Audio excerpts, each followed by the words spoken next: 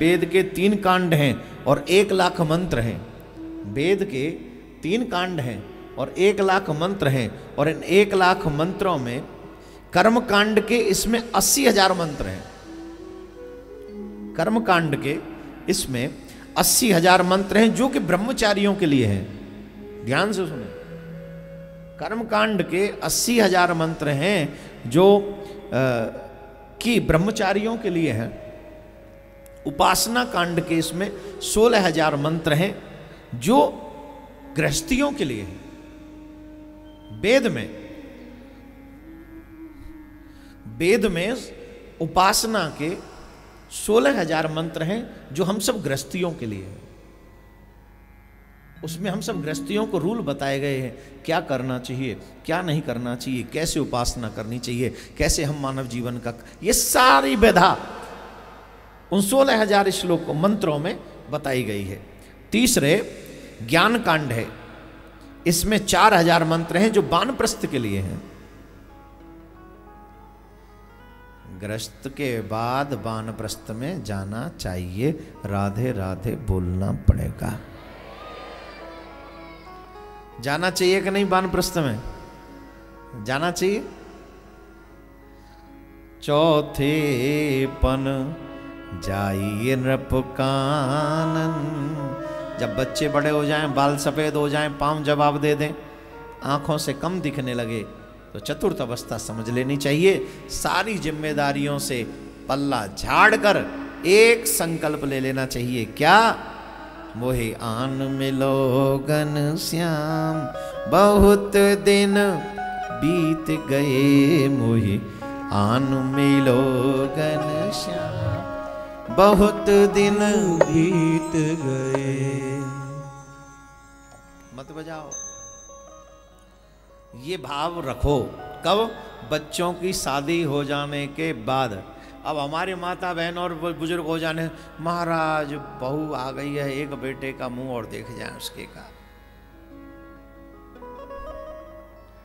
चलो, हो गई। आगे, बेटा भी हो गया। अब अब जाओ, निकलो। महाराज, अभी तो बोलना भी नहीं सीखा।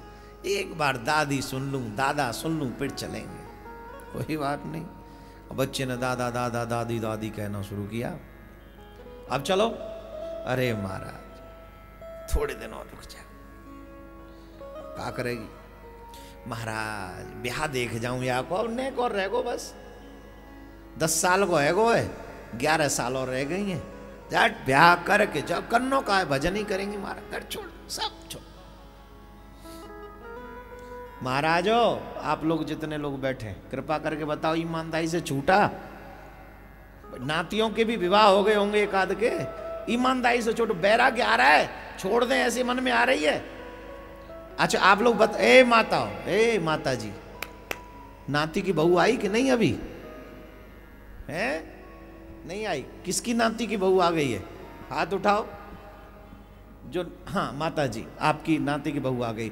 सच बताओ, क्या अभी भी घर छोड़ने का मन करता है? किसी का नहीं करेगा।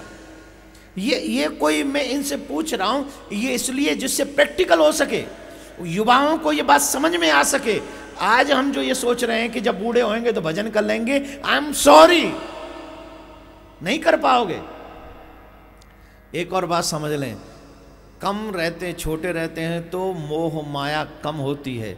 और जैसे जैसे up up up grow up होता चला जाता है, न सिर्फ़ आयु बढ़ती है, बल्कि लोभ, मोह, माया, लालच, काम सब धीरे धीरे बढ़ जाता है और हद पार कर जाता है।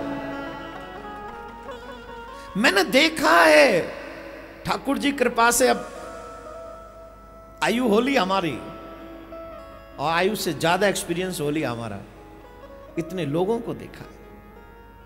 आप समझ लीजिए, जितना जल्दी ठाकुर जी के चरणों में लग जाओ। ये नियम है बेटा बेटी का विवाह हो जाए, तुम्हारी ज़िम्मेदारी खत्म, उनकी ज़िम्मेदारी शुरू। उसके बाद तुम्हारी एक ज़िम्मेदारी बसती है, तुम्हारी आत्म कल्याण की, तुम्हारी आत्मा की। उसकी तरफ़ तुमको प्रयास करना चाहिए। और अगर नहीं करते हो तो हमसे बड़ा कोई मूर्ख नहीं है। हम अपना ही नुकसान कर रहे हैं, इसमें किसी का कोई नुकसान नहीं है। रही बात, जो स्वाद लेते लेते 40 साल 50 साल से पेट नहीं भरा, वो और 10 साल ले लोगे तो भर जाएगा। जिन गाड़ियों में चलते चलते 40-50 साल हो गए, उनमें पेट नहीं भरा, वो 10 साल में और बढ़ जाएगा। जिन सुख सुविधाओं को भोगते भोगते हम लोग इतना उम्र बिता दिए, अभी भी पेट, अभी भी और चाहिए और चाहिए, लालच बढ़ रहा है। भट्टी में आग सुलग रही है। शांत होगी? नहीं होगी। क्या करें? अब एक ही अगन जलाओ, कृष्ण विरह की अगन जलाओ और सारी अग्नियों को शांत कर दो, सारी इच्छाओं को समाप्त कर दो, इच्छाओं का दमन कर डालो और कहो, अब कुछ और नहीं, सिर्फ़ तू चाहिए, सिर्फ़ तू चाहिए, सिर्फ़ तू चाहिए। घर छोड़ के बान एक उम्र में घर छोड़ के वन में चले जाने को वानप्रस्थ कहते हैं, जो कि आजकल संभव नहीं है। इतने वन में जाएँगे तो वहाँ उतनी साधना तो हमारी है नहीं। तो क्या करें? घर में ही रहकर घर को ही वन बना लेना चाहिए। वन में मसालेदार सब्ज़ी नहीं मिलेगी। वन में बनी बनाई रोटी नहीं मिलेगी। वन में सोने के लिए बिस्तर नहीं मिलेगा। वन में सुख सुविधाएँ नहीं मिलेंगी। तो बोले, घर में रहते हुए ही उन सभी सुख सुविधाओं का परित्याग करो। एक मतलब का गद्दा रख लो। गद्दा ले लो। ज़मीन पे सोना प्रारंभ कर दो। बिस्तर वो वो वो जो होते क्या वो क्या नाम है? बड़ा चौड़ा सा होते बेड डबल बेड उसको छोड़ दो। और ना छोड़ सको वो भी तखत है उस पर आरामदेह गद्दा मत बिछाओ। अगर शरीर को आराम दे, दे आराम देते रहे तो ये तुम्हें भगवान में नहीं लगने देगा। निश्चित एक उपाय करो। इस उम्र में पचास पचपन के बाद अपने रूम में ज़मीन पे ही एक बिस्तर बिछा लो। छोटा सा और सर्दी हो तो थोड़ा सा और उससे बचने का उपाय। जिससे बच सको सिर्फ़ उतनी व्यवस्था। और जैसा बहू बेटा बना के दे दें, खा लो। अगर न दे तो अपने आप स्वयं से कोई मसालेदार सब्ज़ी ना हो, कोई व्यवस्था ऐसी ना हो जिसके लिए जीव तरसे फिर क्या करें? बोले, हाथ में माला, झोली लेकर सुबह तुरंत स्नान करके ठाकुर जी के सामने पूरे दिन में जितना अधिक समय बैठ सको, बैठो। उसके बाद देखिए, अगर आप इस मार्ग को अपनाते हैं, मैं दावे से कहता हूँ, मेरे भाई बहन यकीन मानिएगा, मंजिल मिलेगी, आयु समाप्ति से पहले। समाप्ति से पहले मंजिल मिलेगी।